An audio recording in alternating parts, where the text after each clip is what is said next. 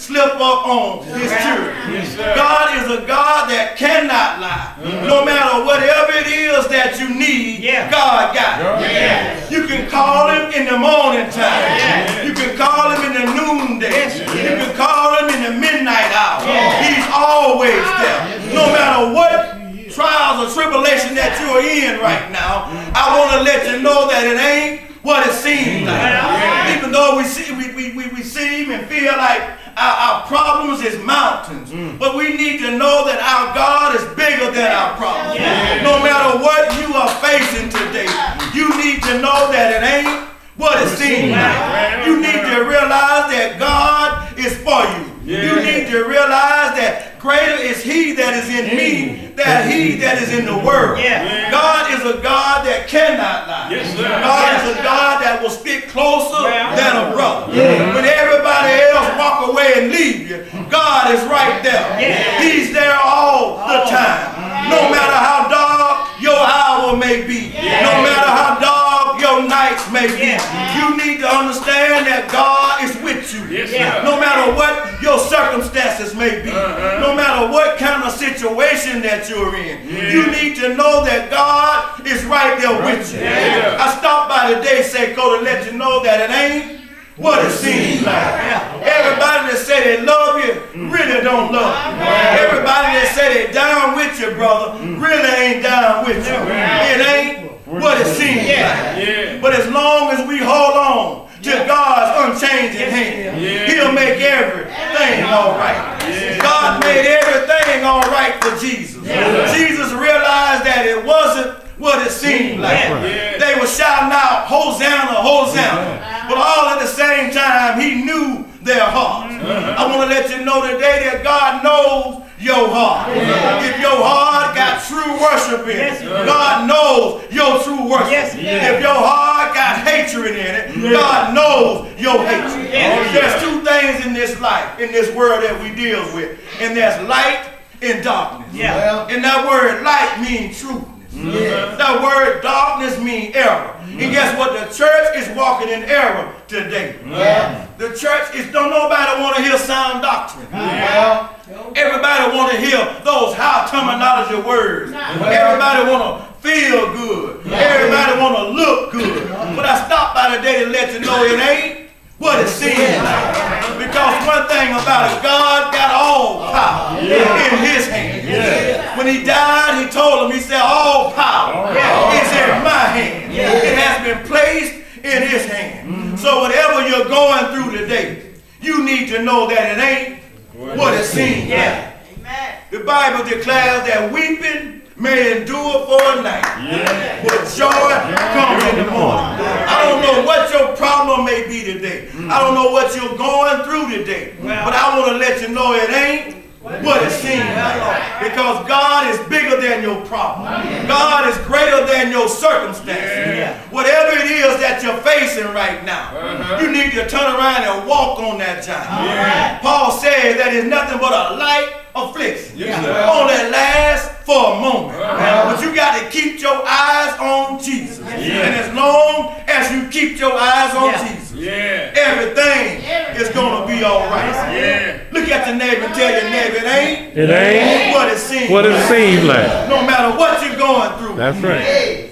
God is bigger than that. We need to understand as long as we're in this life, as long as we're we're living in this world, things ain't gonna always be the way we want them to be. And as Christians, as followers of Jesus Christ, you got to understand that you're gonna go through some problems. Yes, sir. Yes, sir. But you have a God mm-hmm. that's bigger than your problem. We need to know that, y'all. And we need to we need to stop saying that we're living in a recession. Mm-hmm. You may be you might be living in a recession, mm-hmm. but I'm living in the kingdom. See, now I, my daddy is rich. Yeah, that's right. Well, Whatever I need, uh-huh. all I got to do is ask him. Oh, He may not come when I want him, but he's always on time. We serve an on time God, y'all. And he's never too busy You can call him up. You don't have to worry about listening to an answer machine. Saying I'm out of town right now. If you call me back after the beep, leave a message. Oh no, baby. You can call him and he'll be right there. In the midnight hour, in the wee wee hours of the night, when you can't sleep, all you got to do is call on the name of Jesus. I'm a living witness if you call on that name. No matter what your situation is, it ain't what it seems like. I remember two weeks ago, I, I, I have, I, I wrestled with, with high cholesterol, and my cholesterol was real high. I couldn't sleep. I had to go to work the next day, and it was about 2 o'clock that morning. I told my wife, I said, baby, I think I'm going to have to go to the emergency room. But all of a sudden, God whispered in my spirit. He said, Didn't I give you a name? Oh, glory. He said, Didn't I give you a name? That's above all names. I started calling on the name of Jesus. And all of a sudden, that cholesterol just started doing just like that. Y'all, there's healing in that name. He said, We have not because we ask not. You got to learn how to call on the name of the Lord. You're going to have to learn how to cry out to God. Yes. That's our problem, y'all. We're too proud. Well, we'll do stop for heart well, to get down and lay flat out and cry out to God. Now, if you want to get His attention, yeah. cry out Come on, to God. Yeah. If you want God to move, cry out to God. Lord, it's me yeah. standing in the need of prayer. Lord, I need you. i He'll come and see about you. Yes, y'all, we have we have assets, y'all. Uh-huh. All we got to do is activate it. Mm-hmm. And that name is Jesus. Yes. There's nothing that he can't do. Yes, He's a lawyer in the courtroom. Yes. He's a doctor in the sick room. Yes, or whatever you need. He said, I am that I am. And I'm so glad today, y'all, to know that I know him. Uh-huh. Mama told me about him a long time ago. But that was the day I had a personal encounter with Jesus. And ever since that day, I've been running for him. Sometimes I've been up. And sometimes I've been down. Sometimes I've been called everything but the child of God. But still I didn't let that worry me. I kept on pressing my way. See, that's what it is, y'all. We're going to have to learn how to keep on pressing our way. Because as long as you keep pressing, there's a blessing in your pressing. You know what? You know the reason why we can't find it? Because we ain't looking for them. We're looking for everything else in the wrong place.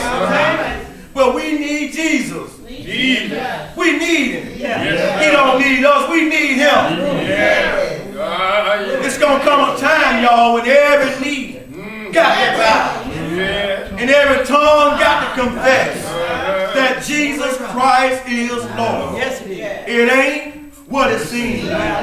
No matter what nobody tell you.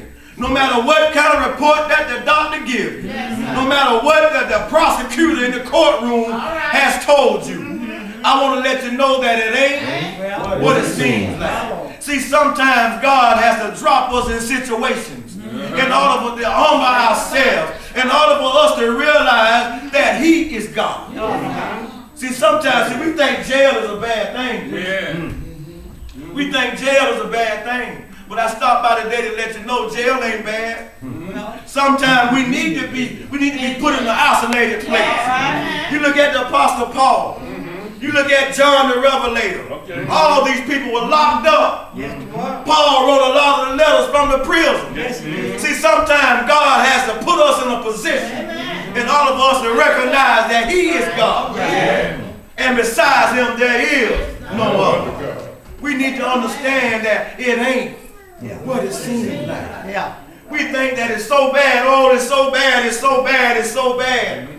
It ain't what it seems like. As long as you're in Christ Jesus.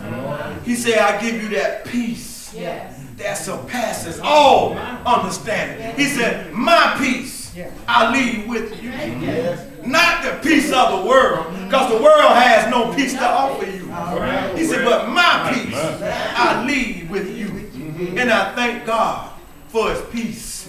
Because in the midst of tribulations, in the midst of trying times, in the midst of hard times, I still got my joy. And I thank God for that joy that he gave me.